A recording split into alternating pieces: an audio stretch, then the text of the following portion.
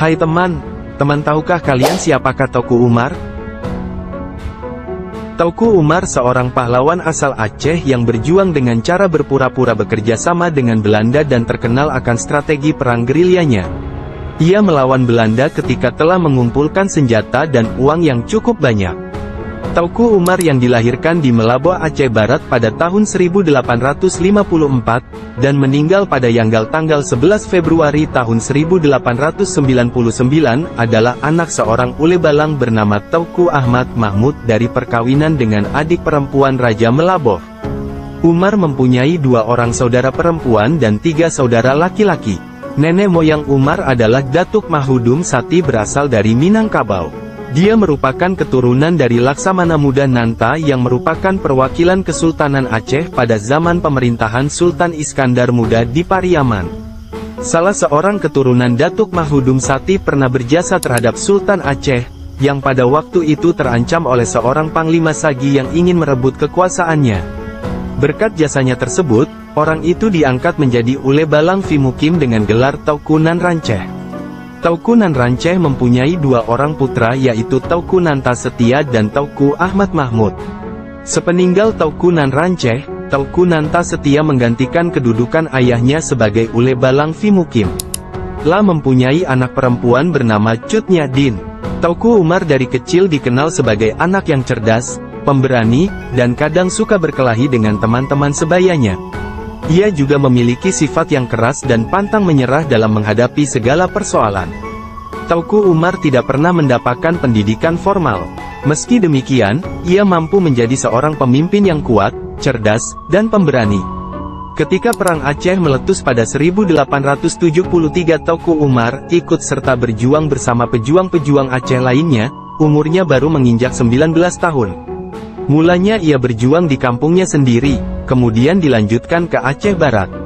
Pada umur yang masih muda ini, Tauku Umar sudah diangkat sebagai kecik gampong, kepala desa, di daerah Daya Melaboh. Pada usia 20 tahun, Tauku Umar menikah dengan Nya Sofiah, anak Ule Balang Glumpang. Untuk meningkatkan derajat dirinya, Tauku Umar kemudian menikah lagi dengan Nya Malayai, putri dari Panglima Sagi 25 Mukim. Pada tahun 1880, Tauku Umar menikahi janda Cut Nyadin, putri pamannya Tauku Nanta Setia. Suami Cut Nyadin, yaitu Tauku Ibrahim Lamnga meninggal dunia pada Juni tahun 1878 dalam peperangan melawan Belanda di Gletarun. Keduanya kemudian berjuang bersama melancarkan serangan terhadap pos-pos Belanda. Tauku Umar kemudian mencari strategi untuk mendapatkan senjata dari pihak Belanda. Akhirnya, Tauku Umar berpura-pura menjadi antek Belanda. Belanda berdamai dengan pasukan Tauku Umar pada tahun 1883.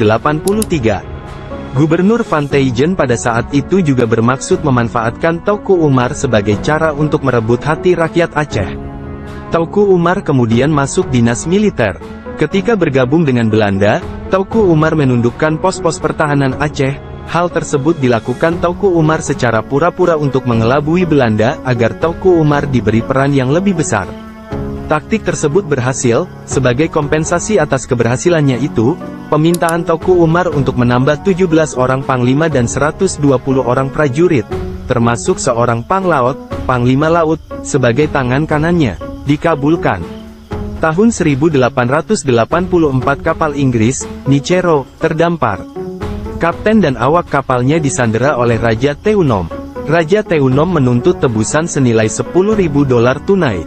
Oleh pemerintah kolonial Belanda Tauku Umar ditugaskan untuk membebaskan kapal tersebut, karena kejadian tersebut telah mengakibatkan ketegangan antara Inggris dengan Belanda.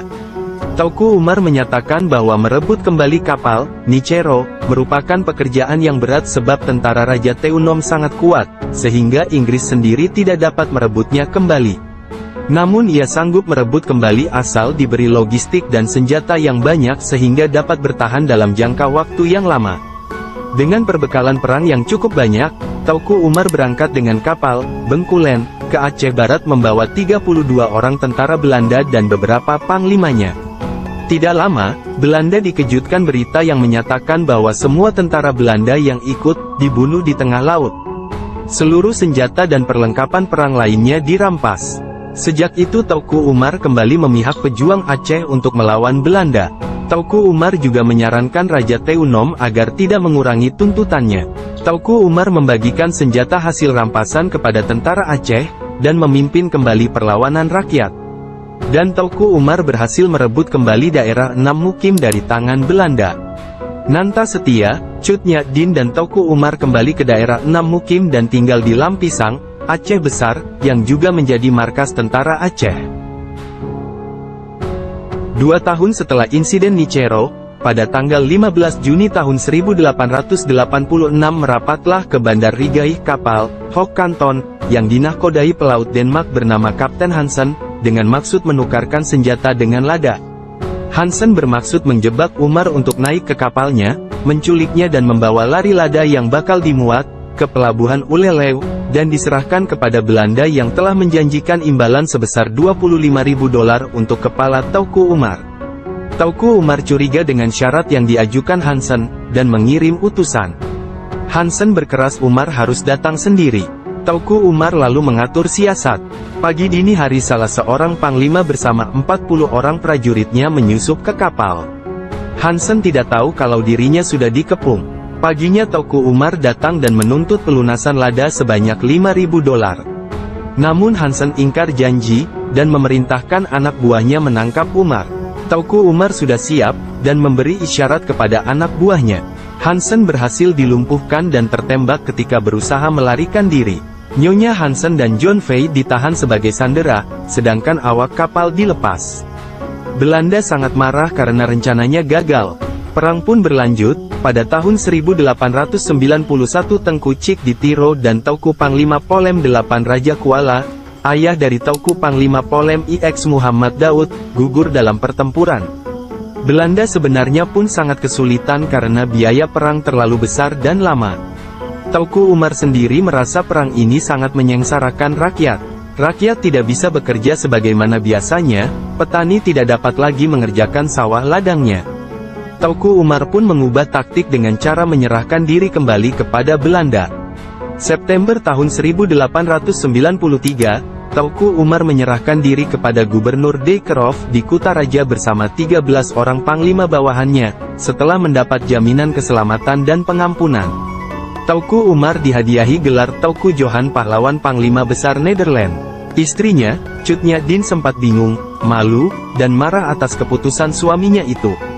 Umar suka menghindar apabila terjadi percekcokan. Tauku Umar menunjukkan kesetiaannya kepada Belanda dengan sangat meyakinkan. Setiap pejabat yang datang ke rumahnya selalu disambut dengan menyenangkan.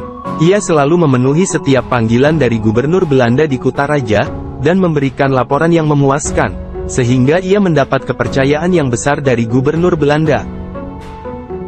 Kepercayaan itu dimanfaatkan dengan baik demi kepentingan perjuangan rakyat Aceh selanjutnya. Sebagai contoh, dalam peperangan Tauku Umar hanya melakukan perang pura-pura dan hanya memerangi Ule Balang yang memeras rakyat, misalnya Taukumat Amin. Pasukannya disebarkan bukan untuk mengejar musuh, melainkan untuk menghubungi para pemimpin pejuang Aceh dan menyampaikan pesan rahasia. Pada suatu hari di Lampisang, Tauku Umar mengadakan pertemuan rahasia yang dihadiri para pemimpin pejuang Aceh, membicarakan rencana Tauku Umar untuk kembali memihak Aceh dengan membawa lari semua senjata dan perlengkapan perang milik Belanda yang dikuasainya. Cut Din pun sadar bahwa selama ini suaminya telah bersandiwara di hadapan Belanda untuk mendapatkan keuntungan demi perjuangan Aceh. Bahkan gaji yang diberikan Belanda secara diam-diam dikirim kepada para pemimpin pejuang untuk membiayai perjuangan. Pada tanggal 30 Maret tahun 1896, Tauku Umar keluar dari dinas militer Belanda dengan membawa pasukannya beserta 800 pucuk senjata, 25.000 butir peluru, 500 kg amunisi, dan uang 18.000 dolar. Berita larinya Tauku Umar menggemparkan pemerintah kolonial Belanda. Gubernur Dekerov dipecat dan digantikan oleh Jenderal Vetter. Tentara baru segera didatangkan dari Pulau Jawa. Vetter mengajukan ultimatum kepada Umar, untuk menyerahkan kembali semua senjata kepada Belanda. Umar tidak mau memenuhi tuntutan itu. Maka pada tanggal 26 April tahun 1896 Tauku Johan Pahlawan dipecat sebagai Ule Balang Leupung dan Panglima Perang Besar Gubernemen Hindia Belanda. Tauku Umar mengajak ule-balang-ule balang yang lain untuk memerangi Belanda. Seluruh komando perang Aceh mulai tahun 1896 berada di bawah pimpinan Tauku Umar. La dibantu oleh istrinya Cut Nyadin dan Panglima Panglaut, dan mendapat dukungan dari Tauku Panglima Polem Muhammad Daud. Pertama kali dalam sejarah Perang Aceh, tentara Aceh dipegang oleh satu komando. Pada bulan Februari tahun 1898, Tauku Umar tiba di wilayah Tujuh Mukim Pidi bersama seluruh kekuatan pasukannya lalu bergabung dengan Panglima Polem. Pada tanggal 1 April tahun 1898, Tauku Panglima Polem bersama Tauku Umar dan para ule balang serta para ulama terkemuka lainnya menyatakan sumpah setianya kepada Raja Aceh Sultan Muhammad Daud Syah. Kisah Tauku Umar yang paling mengejutkan dan terjadi pada tanggal 30 September tahun 1893. Bersama 13 panglima bawahan dan 250 orang pasukannya, ia menyerahkan diri kepada Belanda. Tauku Umar bersumpah akan setia kepada Belanda dan menjadi sekutunya. Sumpah itu diucapkan di hadapan Gubernur Militer Hindia Belanda di Aceh, Jenderal Dijkerhof. 5. Tauku Umar terlihat menaati sumpahnya pada Belanda, Atas kesetiaannya itu, pada tanggal 1 Januari tahun 1894, dia diberi gelar Panglima Perang Besar oleh Gubernur Van Teijen. Juga, nama kebesaran Tauku Johan Pahlawan. Bahkan, dia diizinkan membentuk legium pasukan sendiri yang berjumlah 250 tentara. 5. Pembelokan yang dilakukan Umar seperti sebuah keuntungan besar bagi Belanda untuk memudahkan misi-misi mereka di Aceh. Februari tahun 1899, Jenderal Van Heuts mendapat laporan dari mata-matanya mengenai kedatangan Tauku Umar di Melaboh, dan segera menempatkan sejumlah pasukan yang cukup kuat di perbatasan Melaboh. Malam menjelang tanggal 11 Februari tahun 1899 Tauku Umar bersama pasukannya tiba di pinggiran kota Melaboh. Pasukan Aceh terkejut ketika pasukan Van Heuts mencegat. Posisi pasukan Umar tidak menguntungkan dan tidak mungkin mundur.